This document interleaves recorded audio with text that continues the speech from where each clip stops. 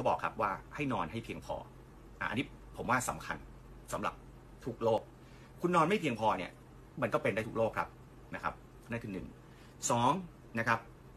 ดื่มเครื่องดื่มที่มีแอลกอฮอล์ให้น้อยลงครับเขาบอกว่าคือหลายคนอาจจะเข้าใจอ้าวแอลกอฮอล์แอลกอฮอล์ดีไม่ใช่เหรอดี ถ้าคุณมาฉีดมือ แต่ว่าเวลาเราเราเราดื่มแอลกอฮอล์เข้าไปนะครับ มันจะทำให้ตับเราทำงานหนักนะครับเขาบอกว่า immune system ของเรานะครับหรือระบบปกป้องร่างกายของเราทั้งหลายเนี่ยนะฮะมันจะทำงานได้ดีก็ต่อเมื่อตับของเราทำงานได้ดีนะครับ ถ้าเกิดว่าเราไม่ดื่มแอลกอฮอล์เยอะ สิ่งเหล่านี้คือทำให้เราดี หรือแนะนำอันนี้ผมแอบขายของเลยลิฟดีมันเป็นกล่องๆนะพอดีผมอะกินจนหมดไปละของบริษัทบีฮิปไทยแลนด์นี่แหละนะฮะโทรมาสั่งได้นะฮะที่ตัวแทนบีตัวไทยหรือ คือมันเอาไว้กินนะฮะแล้วก็มันจะทำให้เอ่อเหมือนกับว่าตับเราแข็งแรงนะครับ คือ